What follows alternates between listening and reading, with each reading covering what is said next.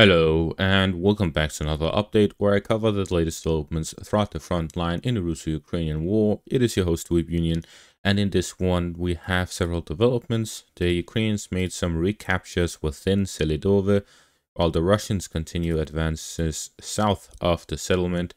In the north, in the Kursk section of the front line, the Russians advanced further in their counteroffensive and have managed to fully recapture the Glushkovo districts in the Chasiv Yar direction, there has been several developments.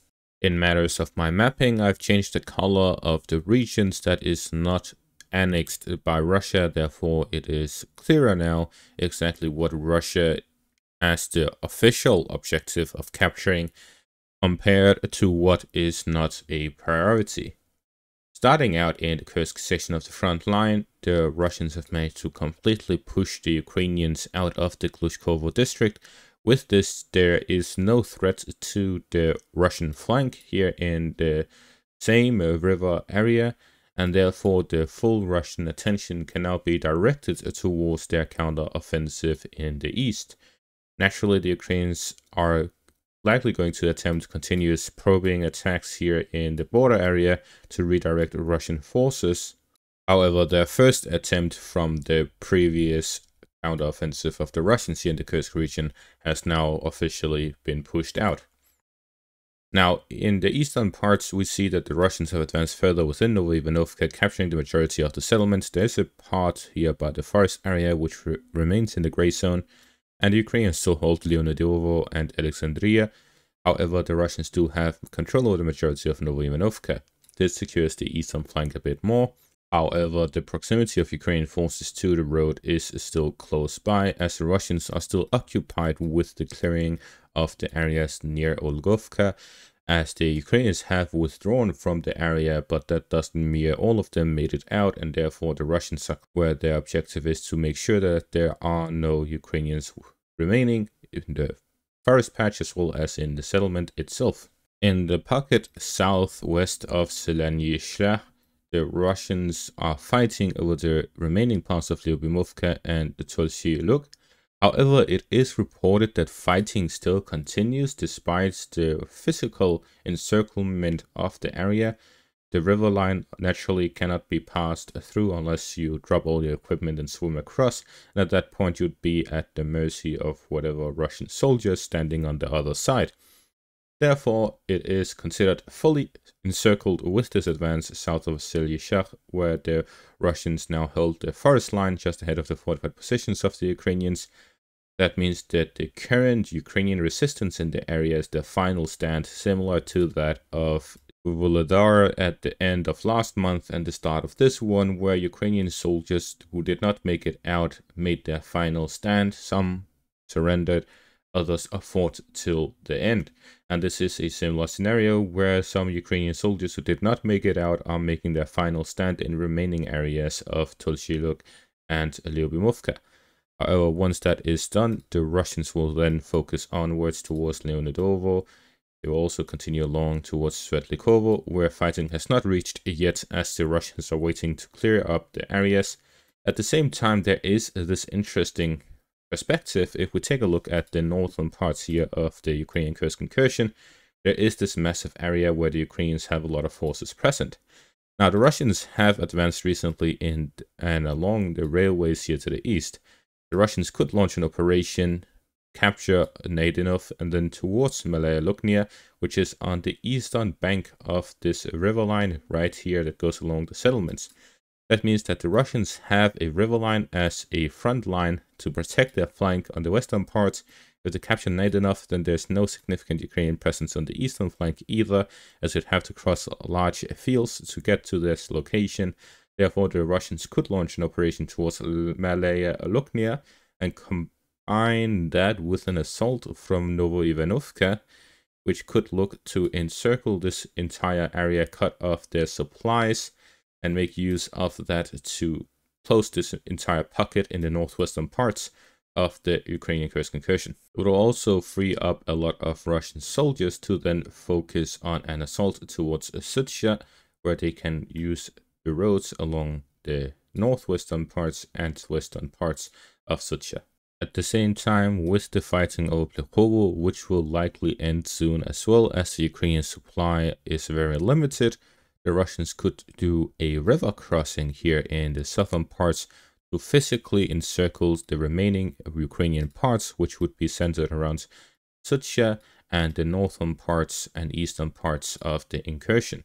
This entire area here would be under threat of a physical encirclement between the Russian forces in the eastern and western flanks. The Ukrainians are, however, sending reinforcements, therefore the Ukrainian soldiers holding out by Lyubimovka, slowing down the Russian counteroffensive, may buy the Ukrainians enough time to introduce new forces which could halt the Russian second counteroffensive and reach another stalemate to prevent such an operation from taking effect, which could encircle the Ukrainian forces here along Sudzha. Moving on to the Yar direction, the Russians have made several advances across the canal.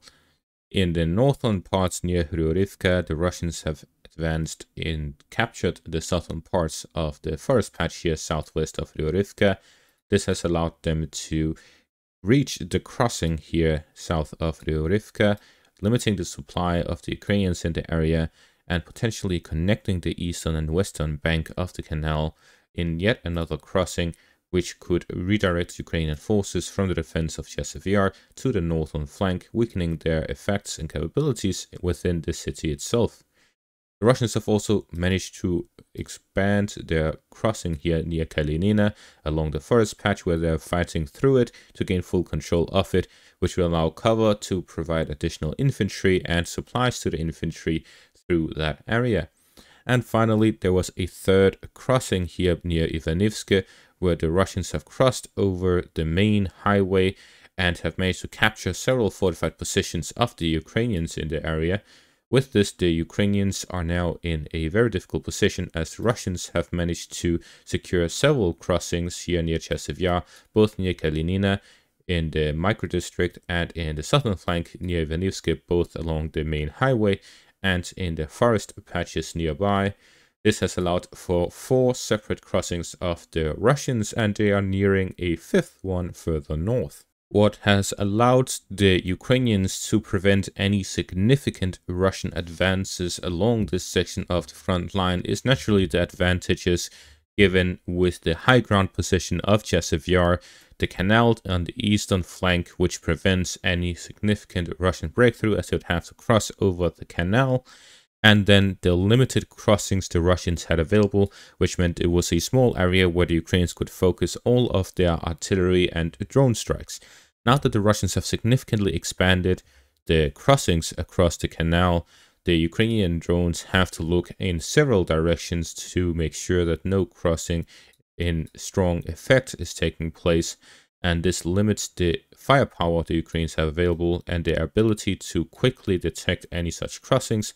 Therefore, it is likely that the Russian advances will speed up with these new crossings under their control, and the more and wider they make these crossings, the more difficult it becomes for the Ukrainians, and the Russians will therefore speed up even further. Therefore, such an operation that has allowed the Russians to cross over along the main highway and capture several fortified positions of the Ukrainians, significantly widening the area in which the Russians can cross over the canal alongside, has given the Russians a strong advantage in the battle over Chasiv Yar, the battle of which could significantly change this entire section of the front line from Siversk in the north to Toretsk and New York in the south. It will also be the gateway for the Russians to reach the defensive line of Sloviansk to Konstantinivka, which is the main and likely also the final defensive line of the Ukrainians. If the Russians break through this line, the entire Donetsk region will be lost for the Ukrainians.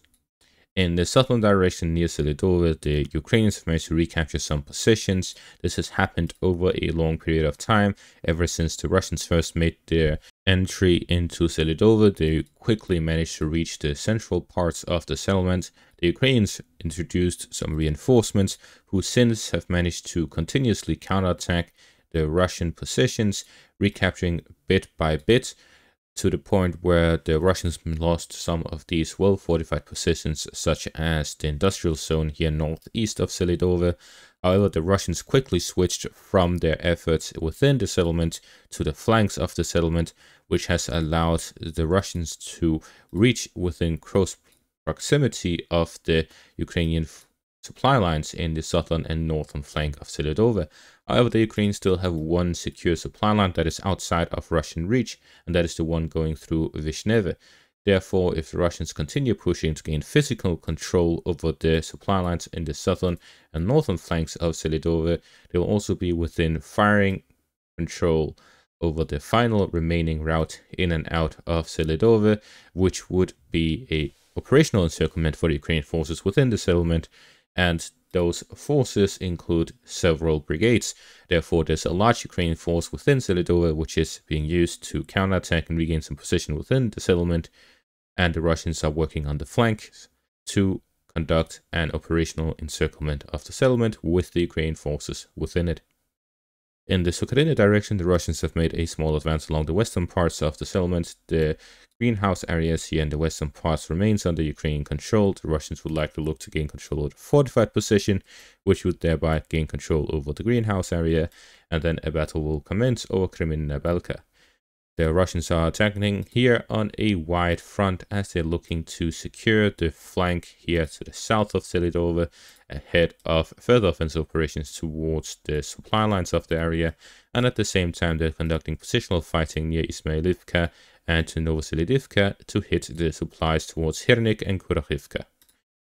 And that is all for this update. Thank you all for watching. Make sure to leave a like, subscribe, check out my YouTube membership and Patreon for additional content Thank you all for watching and have a great day.